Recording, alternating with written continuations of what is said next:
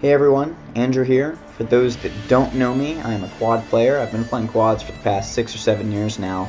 Uh, I'm also an alumni of the Crossmen Drum and Bugle Corps. I spent two summers there on the quad line in 2013 and 2014.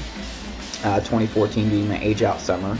Uh, I'm also the creator and producer of the Quad Science educational series hosted by snarescience.com. And of course, I've taught at various high schools and given private lessons. Uh, but I'm currently a member of Matrix Indoor Marching Percussion Ensemble.